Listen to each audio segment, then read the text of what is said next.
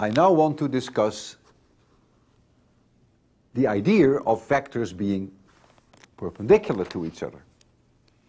When the dot product is zero, the vectors are perpendicular to each other. And let's take a look at that. Suppose I have a vector A, which is a familiar one. We've used it several times. Minus 2y plus 4 0.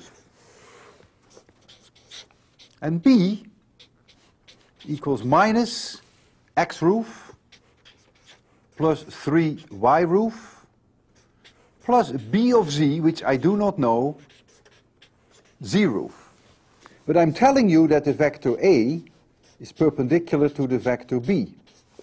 And I'm asking you, what should this value be so that the two are perpendicular to each other? And that is something that does happen some kind, sometimes in these problems of Newtonian mechanics, that you want to get two vectors at right angles.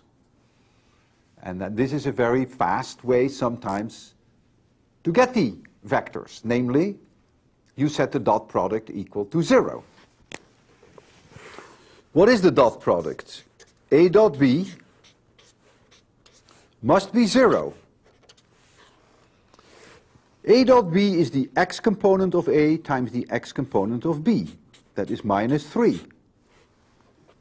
The product of these components is minus 6. And the product of these components is plus 4bz. That has to be 0.